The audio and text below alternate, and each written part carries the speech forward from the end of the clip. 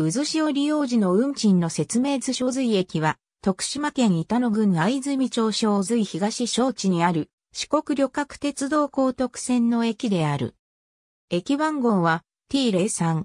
池谷駅から乗り入れる鳴門線の列車も利用可能である。一線スルーでホームは相対式2面2線である。通過列車は2番乗り場を通過する。かつては単式1面1線であった。駅舎は地上駅舎である。双方のホームは古線橋で結ばれている。特急、渦潮の半数程度が停車する。1番乗り場は簡易的な作りのホームで、向かい側の2番乗り場は、駅開業当時からあったホームである。行き違いがある場合を除き、列車は1番乗り場に停車する。高徳線特急、渦潮が停車するのは、下り徳島方面が8便、上り高松、岡山方面が7便の上下計15便。友人窓口、自動券売機が設置されている。キオスクは撤退した。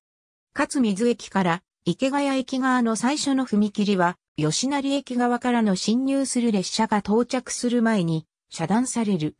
池谷駅に停車しない渦潮では、勝水駅が鳴門線との乗り換え駅の扱いとなる。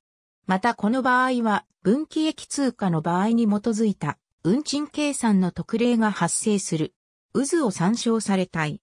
ホーム、池谷方より、ホーム、吉成方より2020年度の1日平均乗車人員は957人である。